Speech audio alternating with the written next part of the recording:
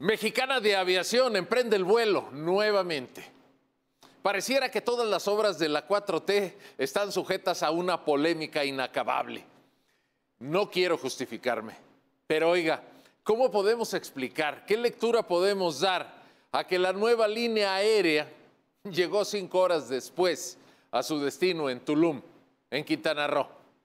La nueva línea aérea fue presentada por Andrés Manuel López Obrador, el presidente de nuestra República, en su rueda de prensa mañanera.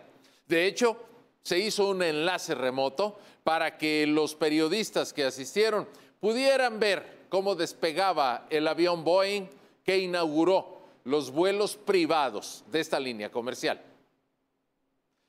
El tema pudiera resultar aplaudible, algo que nos puede llenar de expectativas, porque una nueva línea aérea se une al abanico de oportunidades para quienes tienen la necesidad, por negocios, por turismo o por traslados obligados, de moverse entre un punto y otro del país a través de otra opción que nos ofrezca las líneas aéreas privadas. Pero hay muchos detalles. Mexicana de Aviación será una línea aérea operada por el ejército mexicano. Otra concesión a las fuerzas militares de nuestro país. Esto de entrada puede ser positivo o negativo, aunque vamos a darle una lectura en un primer sentido. Es positivo. Sin embargo, siguen generándose señalamientos en torno del peligro que representa que las Fuerzas Armadas de nuestro país sigan teniendo tantas tareas que no están en sus facultades y que además los acercan a las posibilidades de la corrupción por el manejo de recursos económicos.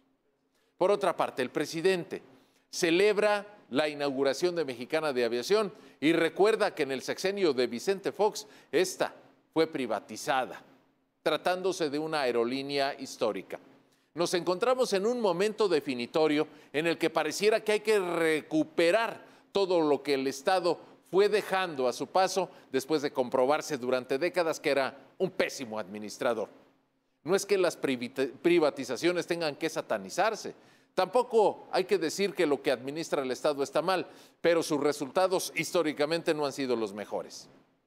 Y finalmente cierro diciéndoles, Mexicana de Aviación, el tren Maya, la refinería de Dos Bocas, el financiamiento a Pemex, y tantas y tantas otras obras que la presidencia de la República ha querido empujar con todo el presupuesto público, recortando en otros sectores que son prioritarios y que no han dado resultados positivos.